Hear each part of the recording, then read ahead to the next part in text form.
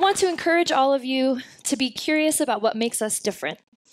Think about a baby who's discovering his toe for the first time, or a young child who sees a bug crawling across the floor. She's not scared of it, she isn't grossed out by it, she just really wants to watch it wiggle around. We were born curious. And the problem that has happened as we grow into adulthood is that we start seeing these differences as things to be separating ourselves, the us and the them.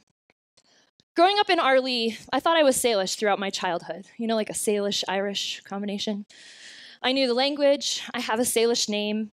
I spent a summer up at Agnes Vanderburg's culture camp making buckskin dolls with my Yaya Francis. When I found out I wasn't Salish, it was devastating for me. I really, I, I never felt different, but all of a sudden I was different. And I learned that those differences weren't necessarily something that was seen as a positive thing. My differences were, used, were able to be used against me to separate me, to make me weird, to make me something that didn't fit in. How many of you in this room have ever felt like you didn't fit in for whatever reason? Your hair color, your skin color, the clothes that you're wearing, the job that you have? Now think about if you've ever made someone feel like they didn't fit in made fun of them because you didn't, you didn't get them. They were weird. Right? I've done that too. But rather than thinking about our differences as something to separate us, I encourage you to think of them as something to use to explore, to be curious about someone else, to learn something new about someone else. Oftentimes, we see differences as something to separate us rather than being excited about them. I recently went through a training where we had a conversation about this whole idea of being different and how people's differences actually create in them such a, a concern about being different that they'll actually hold back who they truly are, their true selves. So I want you all to picture this activity. Imagine yourself in a room full of strangers. Maybe not this room, some of you probably know everyone in this room. But picture yourself in a room full of strangers and imagine that I asked you to write down the 10 most important things in your life the most important people, the most important events, your, the birth of your children, your upcoming high school graduation, your job, your family. Think about all those things that make you who you are.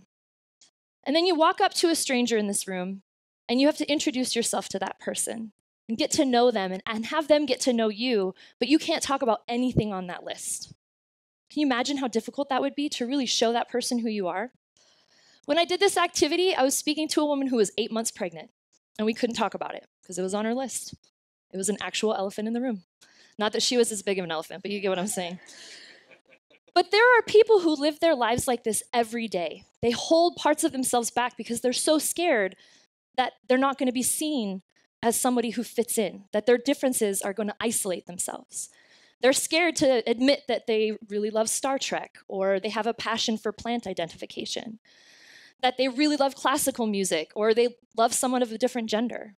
So they hide parts of who they are so that they don't feel isolated. Has anyone ever felt like that in this room? Like you couldn't be your authentic self? I definitely have.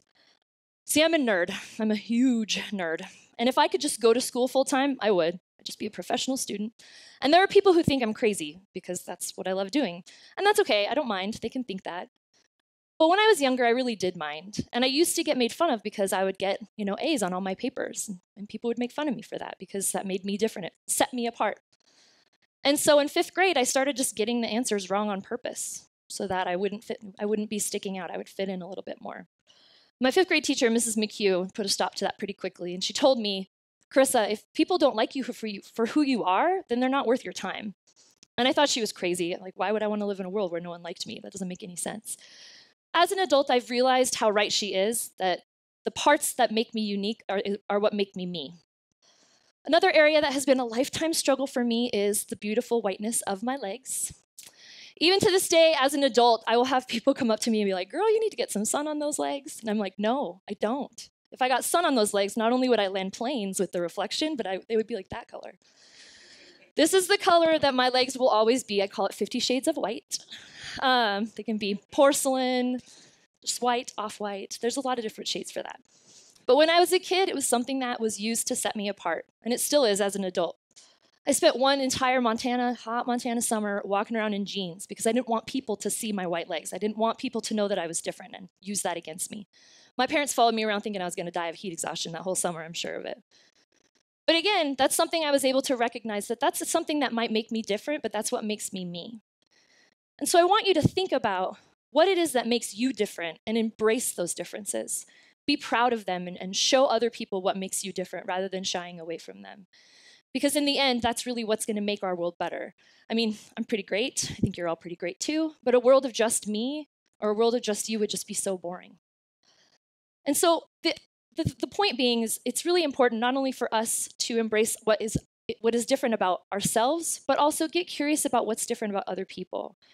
If you meet somebody and you think, God, what a weirdo, I don't understand anything about this person, instead of marginalizing that person, really ask them questions and get to know what makes them different. You may never be a big Star Trek fan, you may never be a Trekkie. You may never think that talking about football plays is exciting. But when you get the opportunity to speak with somebody who has such a passion for something that you don't know about, not only it, it not only gives you the opportunity to learn more about that person, but it also gives you an opportunity to learn more about yourself. And that kind of curiosity can really make our world a much better place. So get out there and be curious, learn about each other, and enjoy.